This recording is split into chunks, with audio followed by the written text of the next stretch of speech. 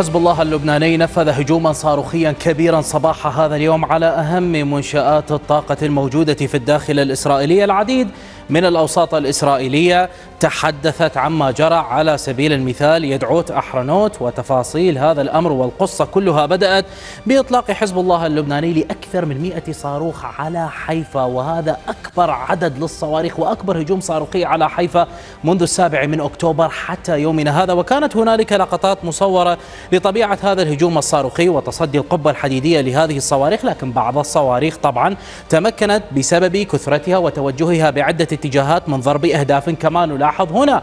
وكذلك اتضح بأن هذه الصواريخ تحلق فوق منشآت حساسة للغاية منشآت للطاقة مهمة موجودة في حيفا. مثل هذا المقطع المصور الذي نراه أمامنا. طبعا وهذه الصورة على سبيل المثال القادمة من المقطع الأخير توضح لك بأننا أمام منشأة تبدو كمنشأة نفطية. هذه صورة أوضح لنفس هذا الموقع. نتجه بالقمر الصناعي. هذا هو جنوب لبنان وهذه هي حيفا. نحاول أن نقترب من نفس النقطة التي رأيناها قبل قليل المصورة من قبل أحد الإسرائيليين طبعا في تلك المنطقة. من خلال هذه الصورة بالقمر الصناعي إذا ما هبطنا باتجاه هذه النقطة تحديدا سنرى بأننا أمام نفس المنطقة التي كانت ظاهرة أمامنا لتوضح فعلا بأننا أمام حقيقة بأن هذه الصواريخ كانت تحلق فوق هذه المنشأة تحديدا. بمعنى آخر إذا ما ابتعدنا بالقمر الصناعي قليلا فأنت سترى أن هذه الصواريخ كانت تحلق فوق واحدة من أكبر المنشآت النفطية الموجودة في ميناء حيفا. كذلك إنها كانت تحلق باتجاه منشآت نفطية خطيرة وكبيرة للغاية موجودة في هذه المنطقة. كما نرى على سبيل المثال سترى بأننا أمام, أمام منشآت نفطية هنا وهذه منشآت نفطية أخرى وهذه منشآت أخرى بالإضافة للمنشأة الهائلة التي نتحدث عنها لا بل أيضا إلى الشرق من هذه المنشآت التي نتحدث عنها هنالك منشأة أيضا للطاقة أخرى موجودة في هذه النقطة. لاحظ ما أكبر هذه المنشأة وكلها تأتي باتجاه النقطة الصاروخية التي كانت أو الصواريخ التي كانت تحاول استهداف هذه المنطقة حتى أن بعض الصواريخ فعلا حاولت استهداف المنشأة التي أشرنا لها قبل قليل من خلال صورة كانت واضحة تتطابق مع هذه الصورة من القمر الصناعي. على سبيل المثال هذه اللقطة تظهر فيها عدد من العلامات لهذه المباني المميزة. كما نلاحظ هنا موقف للسيارات شارع عام موقف آخر ومساحة وهذه طبعا منشأة كما نلاحظ والانفجار كان موجودا تقريبا بهذا الاتجاه بعد المنشأة وقريب من هذه المنشأة. لاحظ هذه هي نفس الصورة تماما التي لاحظناها في القمر الصناعي نفس العلامات التي لاحظناها قبل قليل. هي ظاهرة مع هذه الصورة من القمر الصناعي ومتطابقة تماما مع موقف السيارات وهذا هو الشارع كما نلاحظ. وهنا كما نلاحظ أيضا موقفا للسيارات آخر كما هو واضح مسافة وهذه هي نقطة الاستهداف ولاحظ هذه هي كلها المنشآت النفطية. مما يوضح إلى أن حزب الله اللبناني كان يبحث عن تحقيق ضربة ليست بالعادية على هذه المنطقة حتى منشأة بعيدة نوعا ما كان قد حاول حزب الله على ما يبدو من استهدافها بعض الصواريخ ظهرت في هذا الطريق الذي صوره أيضا أحد الإسرائيليين في حيفا نفس هذه اللقطة التي نراها ظاهرة أيضا في القمر الصناعي على مسافة من هذه المنطقة التي نتحدث عنها إلى الشرق. هي أبعد منشأة تقريبا في حيفا تحديدا. هذه هي المنشأة بخط واحد. ستجد بأننا أمام نفس الطريق تماما. إذا ما هبطنا بالقمر الصناعي هنا في هذه النقطة سترى أنها متطابقة تماما. مع الصورة التي رأيناها قبل قليل وهذا كله يثبت فعلا بأن حزب الله اللبناني كان يريد تحقيق ضربة كبيرة للغاية صباح هذا اليوم على الجانب الإسرائيلي بإطلاقه لأكثر من 100 صاروخ باتجاه كل هذه النقاط النفطية التي تحدثنا عنها. طبعا الجانب الإسرائيلي تحدث بأن أكثر من 20 منظومة من منظومات القبة الحديدية حاولت التصدي لكل هذه الصواريخ لكن واضح جدا أن حزب الله كان يريد إطلاق الصواريخ باتجاه المنظومات المنظومات الدفاعية وكذلك باتجاهات مختلفة لاستنزاف المنظومات الدفاعية وفي نهاية المطاف محاولة استهداف هذه المنشآت النفطية التي أشرنا لها قبل قليل. ولو ذهب ولو تمكن أي صاروخ من أي من هذه الصواريخ من ضرب هذه المنشآت على سبيل المثال لاشتعلت النار بشكل كبير في هذه المنشآت. ولظهرت طبعا على المستوى الإعلامي وكأن حيفا تحترق. ولاحظ بأن هذه المنشآت كلها قريبة من ميناء حيفا. الميناء المهم للغاية بالنسبة للجانب الإسرائيلي بعد كل ما جرى لإيلات. وحتى أن السفن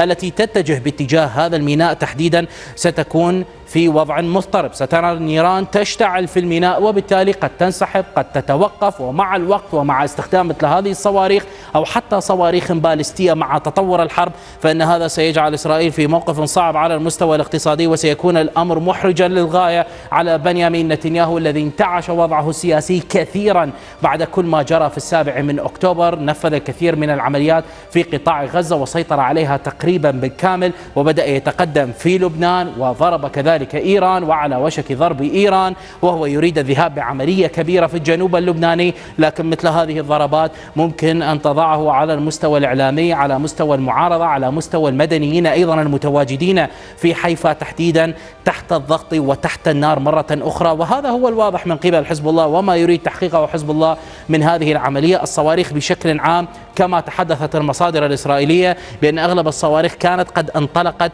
من جنوب غرب لبنان. بعض هذه الصواريخ وواحدة من هذه المنصات كانت موجودة تقريبا إلى جنوب شرق لبنان وانطلقت باتجاه هذه المنطقة مما يوضح إلى الرغبة بتحقيق شيء ضد حيفا وليس فقط إطلاق الصواريخ فوق هذه المنطقة وما هو مثير بهذه المسألة؟ بأن هذا التطور يأتي بعد إعلان إسرائيل لإقحام فرقة جديدة للدخول إلى جنوب لبنان وباتجاه تماما هذه المنطقة باتجاه ساحل البحر المتوسط متجهة إلى صور تحديدا وبدأت بالعمليات في الداخل وهذا الإعلان كان واضحا للفرقة تحديدا 91 عندما أعلنت إسرائيل عن هذه المسألة ونشرت صورا للقوات الإسرائيلية من هذه الفرقة لواءي مشاة بالإضافة إلى لواء مدرع هو الذي دخل لهذه المنطقة. لا بل أن إسرائيل صباح هذا اليوم أيضا أعلنت عن إقحامها لفرقة جديدة وهي الفرقة 146 المدرعة. أي أن الخارطة الآن أصبحت معقدة وصعبة على حزب الله اللبناني وهذه هي صور الفرقة كما نشرتها وزارة الدفاع الإسرائيلية للفرقة المدرعة وهي تستعد لعملية التقدم. وأكد الجانب الإسرائيلي بأن هذه الفرقة فعلا بدأت بعملياتها في جنوب لبنان وتوغلت في جنوب لبنان الآن. وبالتالي خارطة توزيع هذه الفرق الآن أصبحت كالآتي كما تحدثت الأوساط الإسرائيلية. اتضح أن الفرقة 146 التي نتحدث عنها بأنها هي التي تأتي باتجاه جنوب غرب لبنان باتجاه سور وباتجاه المدن المهمة باتجاه صيدا وطبعا بيروت وهنالك طرق معبدة لهذه الفرقة المدرعة لكي تتقدم بها وكذلك الفرقة 36 والفرقة 91 اتضح بأنها هنا في هذا المحور والفرقة 98 والفرقة 210 في مرتفعات الجولان. وما, وما هو مثير بأن أربع فرق كل هذه الفرق التي ذكرناها الآن هي أصبحت متوغلة في جنوب لبنان كما أوضح معهد دراسات الحرب وعدد من المصادر الموثوقة والمهمة بأنهم فعلا يتقدمون في هذه المنطقة. لا بل أن إسرائيل بدأت تتقدم وتسيطر حتى على مقرات اليونيفيل. صدق أو لا تصدق دخلوا إلى مقرات اليونيفيل مثل الفرقة السادسة والثلاثين دخلت إلى هذا المقر الخاص باليونيفيل كما تلاحظون بصورة واضحة من قبل شركة Planet نفس هذه الصورة ظهرت من شركة Planet لتوضح أن كل هذه النقاط التي نراها هي مدرعات إسرائيلية ودبابات إسرائيلية منتشرة في هذه المنطقة. لا بل أن ال Irish Mirror نشرت صورة من نفس هذا المقر ملتقطة من أحد المقاتلين والجنود المتواجدين الأيرلنديين طبعا في اليونيفيل وهو يلتقط صورة للدبابات وأوضح أن الدبابات موجودة أساسا في داخل المقر صدق أو لا تصدق. هذه هي ال Irish Mirror ونشرت هي في حقيقة الأمر. هذه الصورة من هذا المقر لتوضح الدبابات الإسرائيلية وهي منتشرة هنا. نقترب قليلا وسترى بأننا فعلا أمام ثلاث دبابات هنا وانتشار كبير. وهذا كله يعطي فكرة إلى أن إسرائيل تريد السيطرة على كل شيء يأتي مع حدودها والوصول حتى لمقرات اليونيفيل. وهذا المقر يأتي باتجاه منطقة مارون الراس التي تتقدم باتجاهها إسرائيل واليوم نشروا أيضا صور بنفس هذه المنطقة أكدت إسرائيل أنها ضبطت واحدة من الأنفاق الخاصة بحزب الله اللبناني وقوة الرضوان وهذه هي كلها الصور لهذه الأنفاق والخنادق التي وجدتها إسرائيل وكذلك منصات إطلاق صواريخ موجودة من ضمن هذه المنطقة. ولاحظ هذا هو المقر الذي أشرنا له قبل قليل المقر الخاص أو القاعدة الخاصة باليونيفيل وهي 652 كما نلاحظ سيطرة من قبل الجانب الإسرائيلي عليها. ولاحظ أن هنالك العديد من النقاط الزرقاء. هذه كلها نقاط تواجد قوات اليونيفيل التي لم تتمكن من منع حزب الله اللبناني من التواجد في هذه المناطق وحفر الأنفاق ووضع منصات إطلاق الصواريخ وغيرها. وهذا كله يوضح إلى أن إسرائيل ستبحث عن السيطرة على مقرات اليونيفيل أو الدخول على قوات اليونيفيل. ليس هنالك شيء ضد اليونيفيل لكنهم يريدون تغطية هذه المنطقة بأكملها. وهذا هو الذي دفع في نهاية المطاف حزب الله اللبناني مع اقتحام كل هذه الفرق مع هذه التطورات بدأوا بمهاجمة حيفا التي تعتبر من الخواصر الرخوة بالنسبة لإسرائيل وكذلك شنوا هجوما كبيرا على من؟ على تل أبيب وهذا من أجل أيضا تعطيل حركة الطائرات الموجودة باتجاه مطار بن غوريان لخافة المدنيين الموجودين في إسرائيل ودفعهم للمغادرة في نهاية المطاف.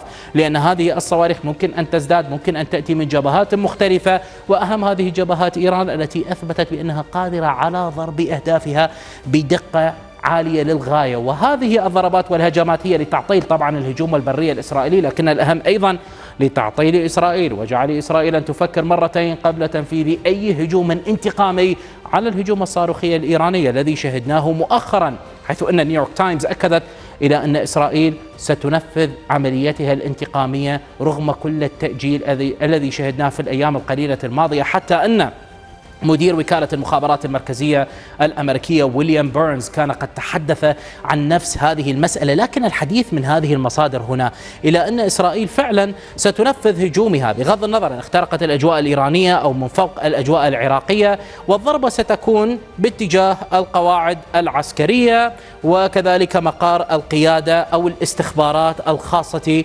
بالجانب الإيراني. هذا هو الهدف من قبل الجانب الإسرائيلي في هذه الضربة يعني تقريبا الرد بالمثل قد يكون بأكبر بقليل من الضربة القادمة من قبل إيران على إسرائيل. وفي حالة إيران قامت بالرد كما توعدت بضرب إسرائيل والعمق الإسرائيلي مرة أخرى فإن هذه المرة الرد من قبل الجانب الإسرائيلي سيكون باتجاه ليس فقط منشآت الطاقة أو المنشآت النفطية الإيرانية لكن الأهم من ذلك هو ضرب المفاعلات النووية. وطبعا إسرائيل تريد اتباع مثل هذه العملية وذلك من أجل ردع إيران. وجعل إيران أن تفهم بعد الضربة الإسرائيلية باتجاه إيران المقار العسكرية ومقار الاستخبارات التي نتحدث عنها وبعض مقار القيادة.